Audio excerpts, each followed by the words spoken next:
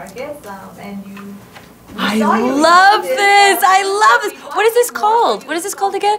Bayam kimbap. Bayak gimbap. Kimbap. Oh, it's so good. Yes, Thank so you. hope. I will. oh gosh, I ate so many great things. Uh, so many great things. Um, my, I think one of my favorites was it, they're like rice, kind of like dumplings in like a red sauce. Dobak, do, doboki, doboki. Yeah, that was really good.